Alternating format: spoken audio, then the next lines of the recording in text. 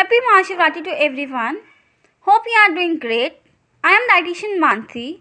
On the occasion of Shivratri, we are coming up with a refreshing drink which is perfect for your evening snack that is strawberry slush.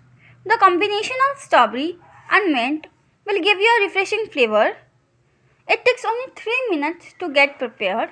So without wasting much time, let's get started with the recipe.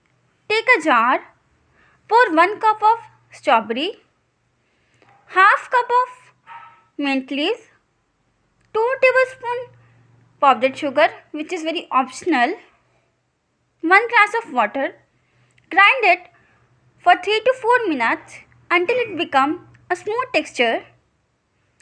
Transfer into a glass. You can add ice also.